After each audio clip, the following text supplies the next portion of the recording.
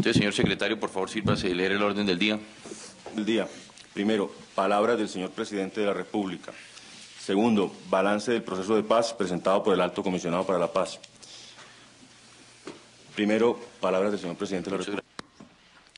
La verdad que nos complace tenerlos nuevamente reunidos aquí en esta décima sesión del Consejo Nacional de Paz. En esta recta final de mi mandato todavía tenemos muchas tareas por adelantar en nuestro propósito común de construir la paz para Colombia. La tarea más importante de todas las que nos convoca es la de unir aún más la voluntad y el esfuerzo de ustedes para trabajar en conjunto y aportarle alternativas concretas, propuestas sólidas y viables y puntos de encuentro a los temas que nos ocupan hoy en el proceso de paz. Como el país, y ustedes bien lo saben, la semana pasada fue una semana llena de dificultades, de denuncias, de consultas, de reuniones, llena de esperanza, para algunos de decepciones y de tristezas, llenas de dolor, llenas de odio para algunos y de preocupación para la gran mayoría de los colombianos que sueñan y que soñamos con una Colombia definitivamente en paz.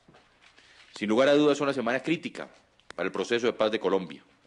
La decisión, como ya lo reiteré, era la de continuar o no por el camino de la solución negociada del conflicto armado con las FARC-EP.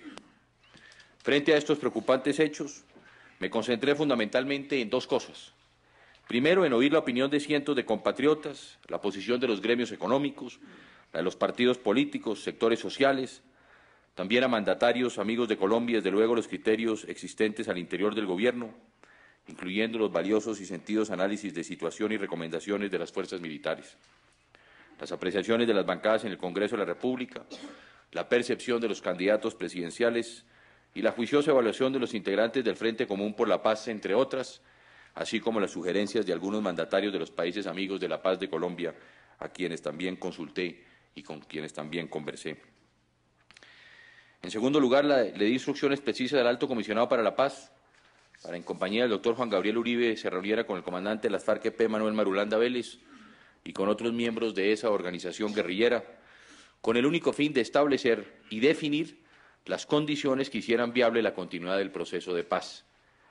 Como conclusión de esta reunión se produjo el Acuerdo de San Francisco, que encausa el proceso por un rumbo más cierto, más concreto y más esperanzador para todos.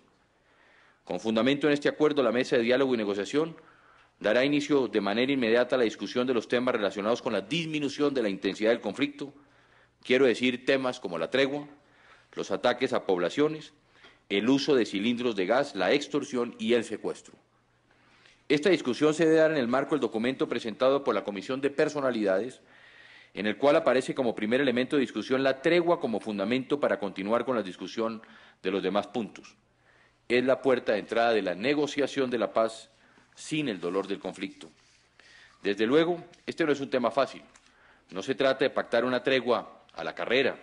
Hay que hacerlo con prudencia, con la solidez necesaria para que se cumpla con sus propósitos, la tregua debe tener como único fin consolidar el proceso de paz y no puede servir como un fortalecimiento militar. Este acuerdo de fortalecer el proceso y pone en el centro del escenario los diálogos, los temas más sentidos por los colombianos.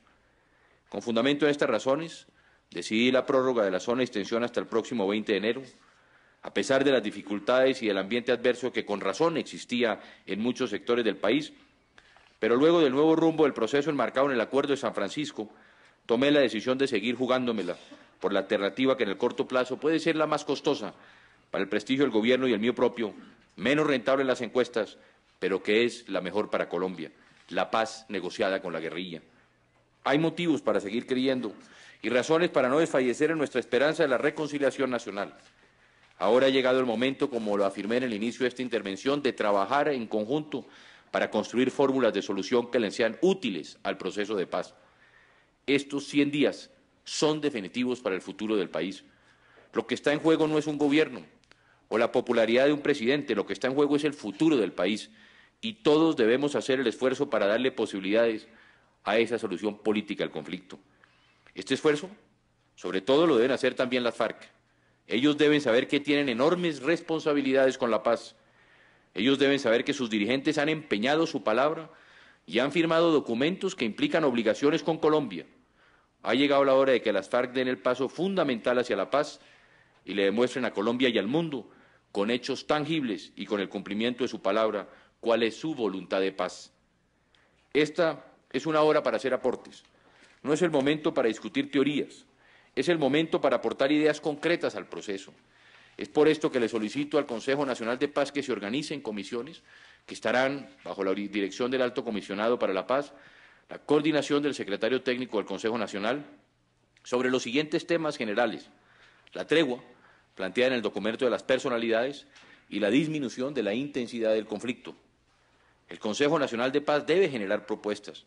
El objetivo es el de recibir de manera permanente los aportes en materia de recomendaciones, sugerencias y propuestas solicitadas por el Gobierno de parte de ustedes para enriquecer la discusión de la mesa de negociación en el proceso de paz con la FARC y facilitar así el camino de los acuerdos concretos de paz.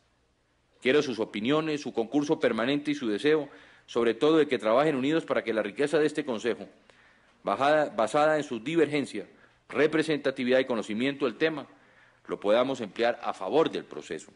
Esto mediante la construcción de propuestas e iniciativas concretas, viables y sensatas para el logro de la tregua en el seno de este cuerpo asesor del Gobierno. Queremos documentos, iniciativas, fórmulas de solución, propuestas, repito, que sean concretas, viables, sensatas y ojalá de consenso.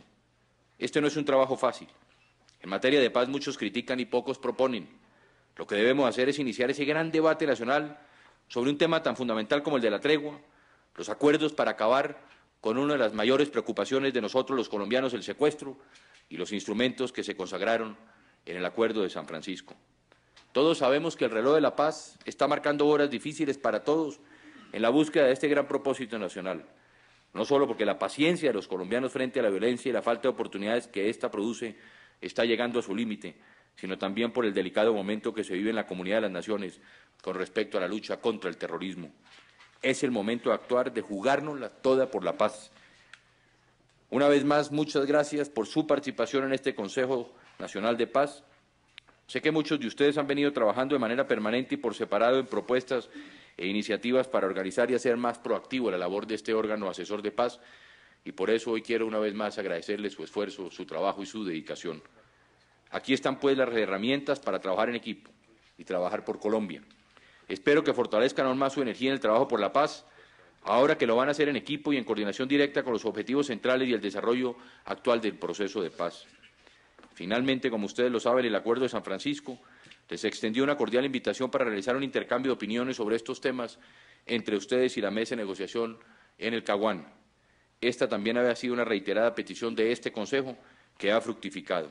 En los próximos días, tan pronto se acuerde la fecha de invitación, los convocaremos para llevar a cabo este importante encuentro. Ánimo y a trabajar todos en el mismo equipo, por la misma causa y con el mismo aliento, la paz definitiva para Colombia. Muchas gracias. A continuación y dando continuidad al orden del día, continúa el alto comisionado para la paz presentando